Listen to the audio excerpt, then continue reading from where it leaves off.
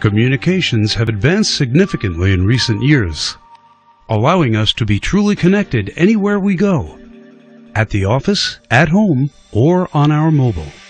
You want to be in contact with your team and your customers wherever you are and wherever they are.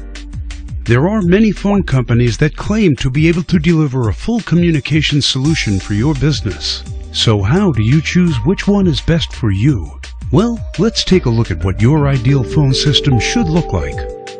Firstly, and most importantly, you need a highly flexible professional phone system with features such as auto receptionist, voicemail, multi-party conferencing, call queuing, call recording, and more.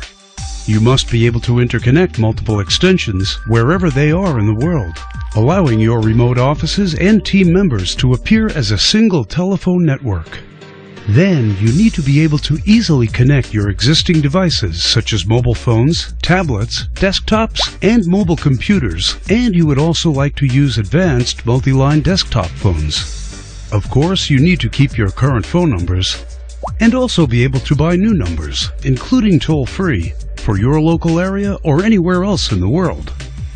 And you should never have to be worried about expensive long distance or international calling. All of this without involving additional service providers or being committed to long-term contracts.